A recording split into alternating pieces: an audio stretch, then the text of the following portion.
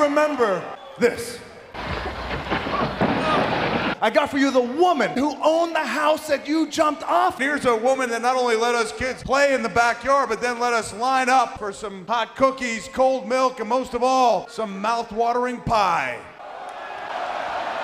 What are you talking about? Are you actually saying that you actually ate this woman's pie? Of course, that's what I'm saying. It was delicious. It was the best on the block. The best on the block. All the kids lined up, the girls too. The girls too. Stray dogs. eh? Stray dogs. Stray dogs. What? What in the hell kind of house you running, honey? Well, sure, it was a little crusty. Ah, the Rock doesn't want to hear about crusty wait, old wait. pie. Are you still giving out uh, pie?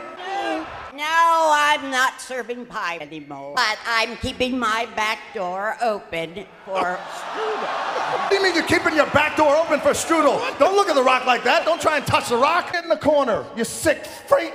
What's wrong with you?